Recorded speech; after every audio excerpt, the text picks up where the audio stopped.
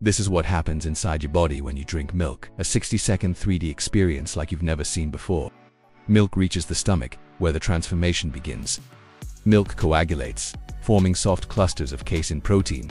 In the intestine, nutrients are absorbed rapidly. Calcium and proteins enter the blood and travel toward the organs.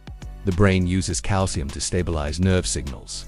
Calcium lights up the mind, sharpening it. The bones light up, growing stronger.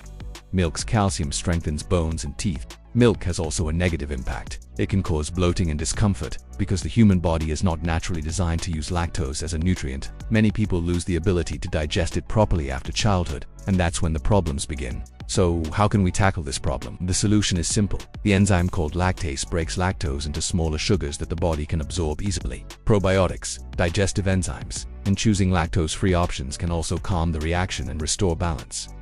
Milk has told its story. Caffeine is next. Like and follow for more videos like this one.